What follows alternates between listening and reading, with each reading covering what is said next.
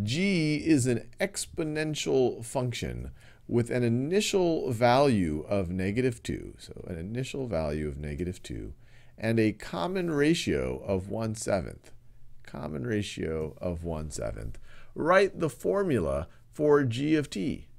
Well, the fact that it's an exponential function, we know that its formula is going to be of the form g of t is equal to our initial value, which we could call a, times our common ratio, which we could call r, to the t power. It's going to have that form.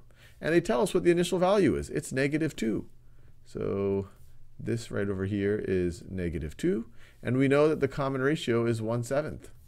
So this is 1 seventh. So let me just write it again a little bit neater. g of t is going to be equal to our initial value, negative 2, times, times our common ratio, 1 seventh, to the t power. And hopefully this makes sense. Initial value is this number. Well, if t is equal to 0, then 1 seventh to the 0th power is 1. And so g of 0, you can view that at time as being equal to 0, if you view t as time, would be equal to negative 2. So that would be our initial value.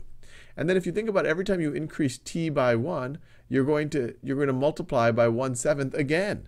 And so the ratio between successive terms is going to be 1 seventh. And so that's why we call that the common ratio. Hopefully you found that interesting.